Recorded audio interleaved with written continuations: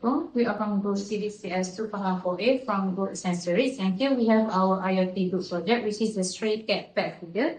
And here is the answer. And also here is our weight platform, which contains a load cell. And when a weight will be put on on top of it, the robot will move towards the platform. So here is a weight that will act as a stray cat.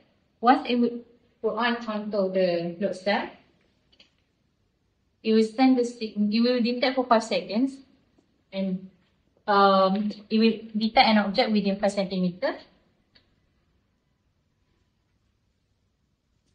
And it will wait for a bit before dispensing. And then after that, it will revert for another 5 seconds. That is all for our day. It will act as a stray cat.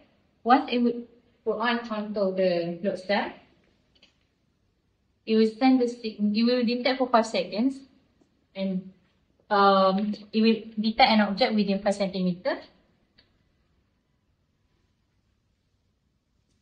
And then it will wait for a bit before dispensing. And then after that, it will revert for another 5 seconds.